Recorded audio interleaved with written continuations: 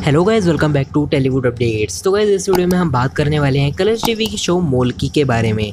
तो इस मोलकी के बारे में रिसेंटली मैंने आपको ये भी बताया था कि मोलकी लेने वाला है एक लीप उस पर भी मैंने अलग वीडियो बनाया था।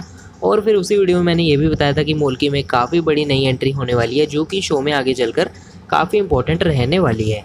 तो ये भी मैंने उसी वीडियो में बताया था। अगर आपने वो वीडियो देखना है तो लिंक डिस्क्रिप्शन में है बिकॉज़ मोलकी में बड़े ट्विस्ट एंड टर्न्स आपको देखने को मिलने वाले हैं। तो लिंक डिस्क्रिप्शन में उस वाले वीडियो का, इस वीडियो में भी हम मोलकी के बारे में बात करने वाले हैं। मोलकी की तरफ़ से कुछ नया अपडेट मैं लेकर आया हूँ। तो इस मोलकी में एक और नई एंट्री होने जा रही है, जो कि आने वाले एपिसोड्स में आपको देखने को मिलेगी। तो गैस धीरज छटलानी जल्द ही शो को एंटर करने वाले हैं। उनको ज़्यादातर जाना जाता है, उनकी बड़े अच्छे लगते हैं कि परफॉर्मेंस से। तो बड़े अच्छे लगते हैं कि एक्टर धीरज छटलानी इस शो को जल्द ही एंटर करेंगे। और ये नई एंट्री आपको आने वाले एपिसोड्स में देखने को मिलने वाली है। अगर हम बात करें उनका करेक्टर किस तरह का होने वाला है तो अभी के लिए करेक्टर पर डिटेल्स तो नहीं है, लेकिन उनका जो करेक्टर होगा, वो अमन उपाध्याय के करेक्टर के कज़न का रोल वो करने वाले हैं। यानी कि वीरेंद्र के कज़न का रोल वो करने वाले हैं कज़न भाई का रोल और वो इस शो में जल्द ही एंटर करने वाले हैं। तो वैसे उनकी जो एंट्री है, वो मोस्ट प्रोबेबली लीव से पहले ही हो जाएगी, और ज़्यादातर चांस तो यही है।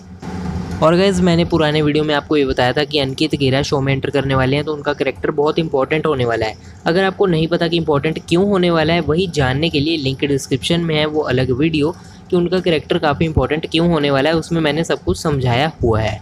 काफ़ी मेन करेक्टर उनका होने वाला है।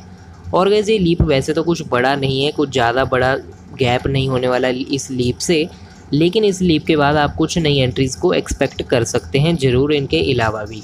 तो गैज़ यही था इस वीडियो में मोलकी के बारे में। लाइक कर दीजिए शेयर कर दीजिए मोलकी के फैंस के साथ। कमेंट्स में बताइए आप एक्साइटेड हैं या फिर नहीं। और गैज़ ऐसे ही लेटेस्ट न्यूज़ के लिए हमारे चैनल से बने रहिए। चैनल को कर लीजिए सब्सक्राइब उसके साथ में बेल आइकन है, उसको दबा दीजिए। ताकि आप तक सारी कलर्स टीवी या फिर मोलकी की अपडेट्स पहुँचती रहें। फ़िलहाल के वीडियो में इतना ही। मिलते हैं नेक्स्ट वीडियो में। अभी के लिए चलता हूँ। Good bye